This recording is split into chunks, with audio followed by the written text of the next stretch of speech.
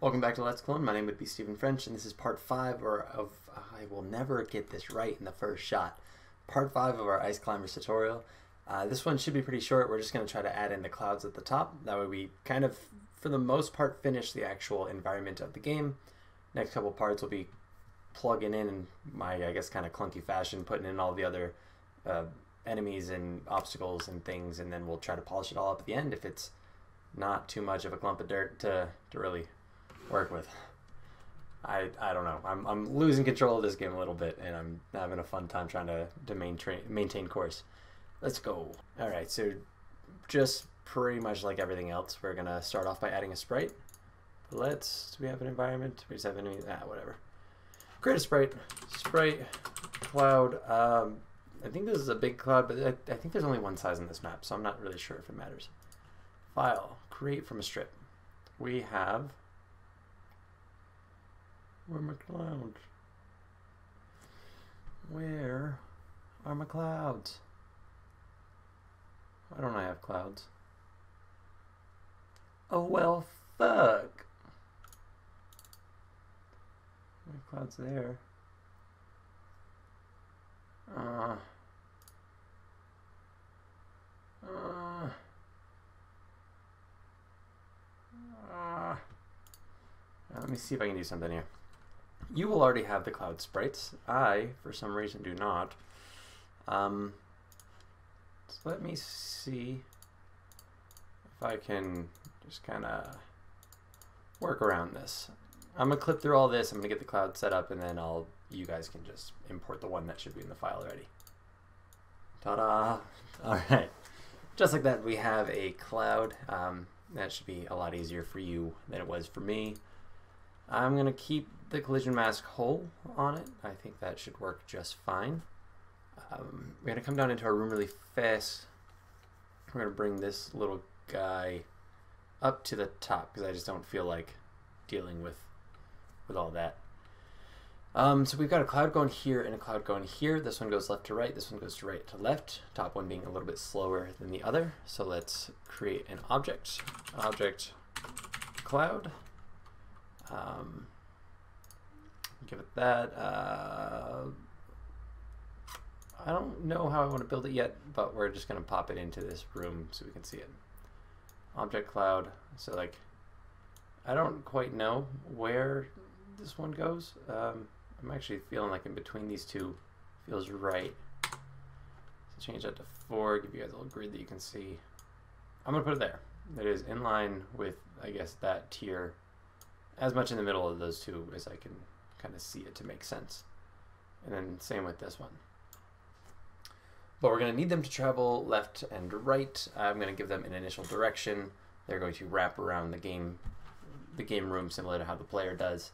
Uh, so yeah, let's let's see how we can figure this out. I'm actually going to look at Popo real fast to see how I do that. I think I put it in his draw event, wrap around. Yeah, we're just going to right off the bat, we're just going to copy that draw event and we're going to put it into our cloud.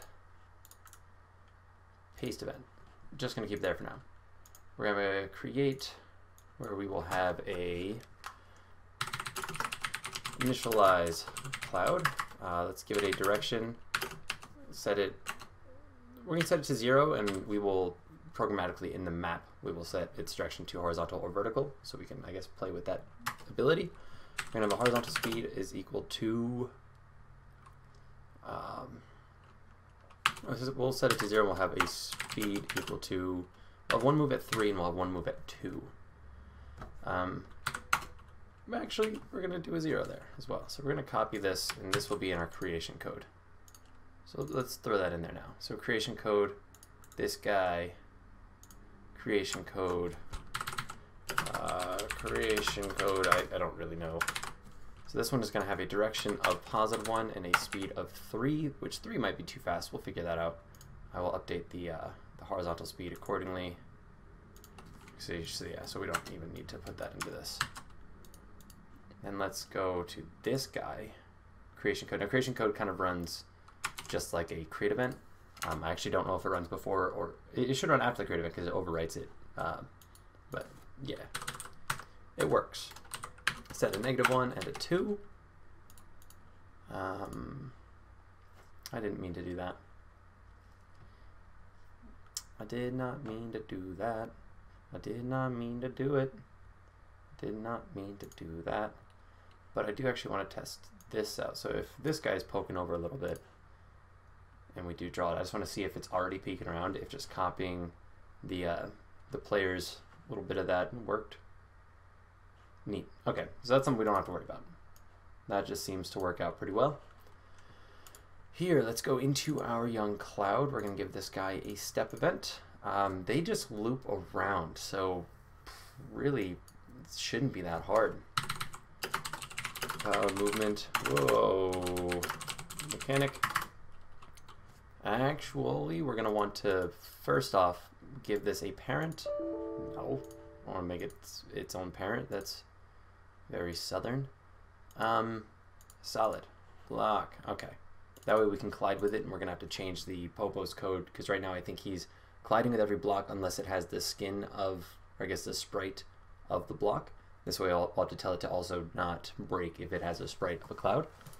Um, here we're going to say ASPA is equal to speed times direction. Uh, oh no, did not want U at all. We're going to say X uh, fly movement X plus equals to H speed. Um, we'll say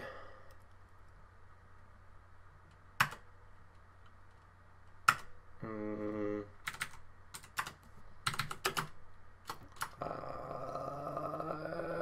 set speed and direction. Oh my god. It'll never happen. And then here, wrap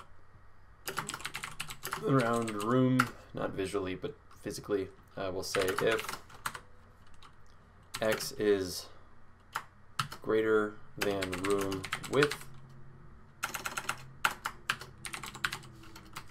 then x is equal to speed. Uh, yeah. Uh, we'll go